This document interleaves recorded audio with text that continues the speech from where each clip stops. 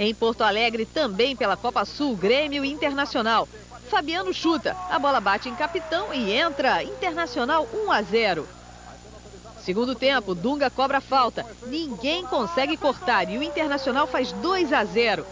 Apesar da derrota, o Grêmio está classificado para a final da Copa Sul. Bela.